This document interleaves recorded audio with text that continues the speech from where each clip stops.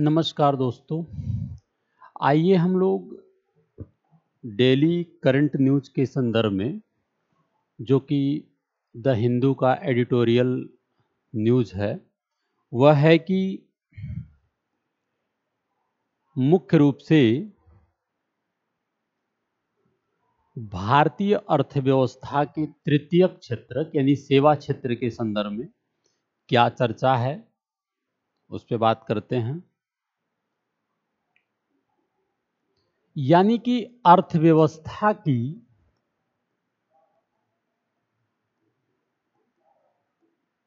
जो तृतीयक क्षेत्र है, तृतीयक, जिसे हम लोग सेवा क्षेत्र कहते हैं।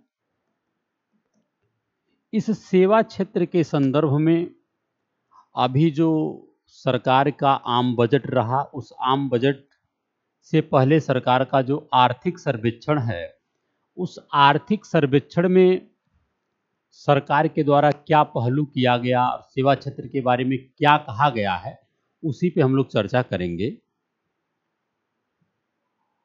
केंद्रीय वित्त एवं कारपोरेट कार्य मंत्री द्वारा, जो कि निर्मला सीतारमण जी हैं, द्वारा हाल ही में प्रस्तुत आर्थिक सर्वेक्षण 2023-24 में पिछले तीन दशकों में देखा गया है कि भारत की आर्थिक वृद्धि में सेवा क्षेत्र की जो महत्वपूर्ण भूमिका है, वह बढ़ रहा है।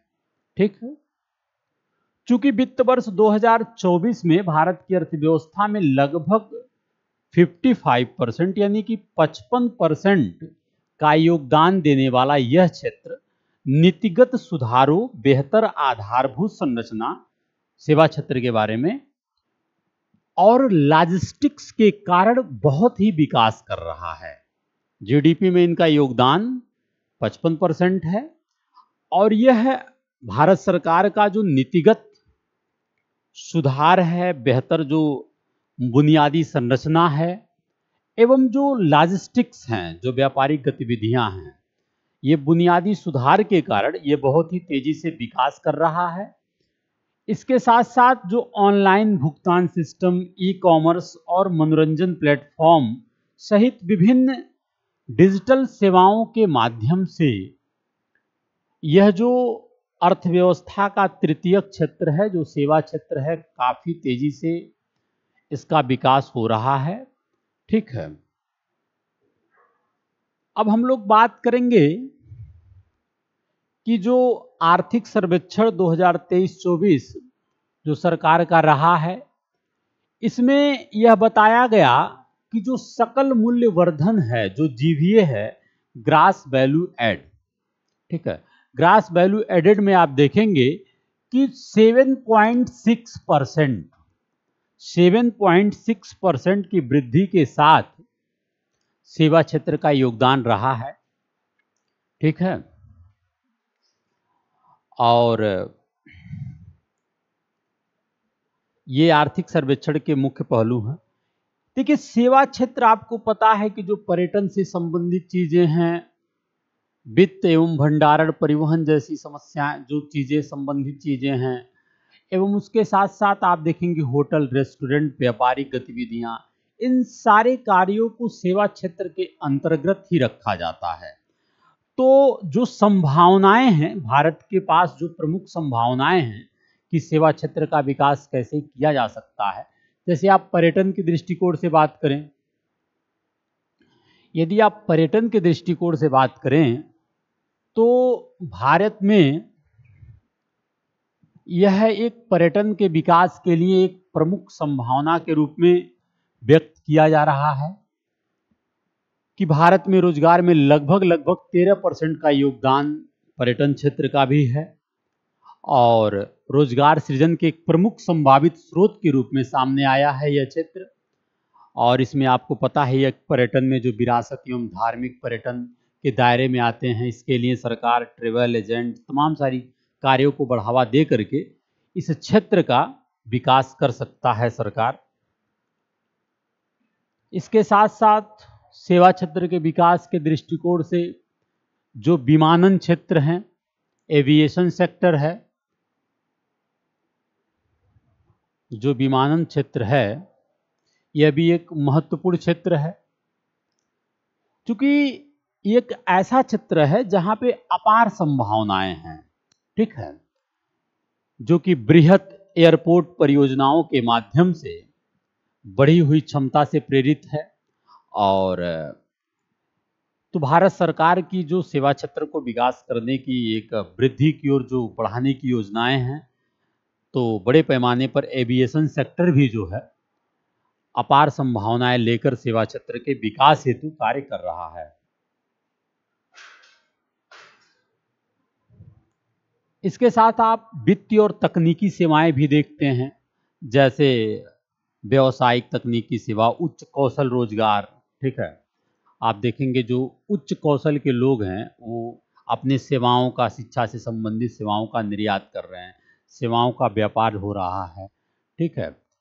तो यहाँ भी बहुत ही, आप देखेंगे आर्टिफिशियल इंटेलिजेंस के माध्यम से सेवाओं का जो है बड़े पैमाने पर व्यापारी गतिविधियों को बढ़ाया जा रहा है। तो ऐसे उच्च तकनीक के माध्यम से एआई तकनीक के माध्यम से एवं सरकार अपनी सेवाओं का जो सेवा क्षेत्र है, ऐसे क्षेत्रों का विकास कर सकता है। उसके साथ साथ सेवा क्षेत्र के विकास से संबंधित चुनौतियाँ भी हैं अपने देश में। क्योंकि देखिए, मेंस के दृष्टिकोण से बहुत महत्वपूर्ण है। आपसे यहाँ से प्रश्न पूछा जा सकता है कि भारतीय सेवा क्षेत्र के संदर्भ में भारत में क्या संभावनाएँ हैं, क्या चुनौतियाँ हैं? तो चुनौतियों के संदर्भ में आप देखेंगे कि जैसे भारत में क्या है, एक कुशल कार्यबल की कमी है। ठीक है, कार्यबल है लेकिन कुशल कार्यबल की कमी है। ठीक है, जिसके वजह से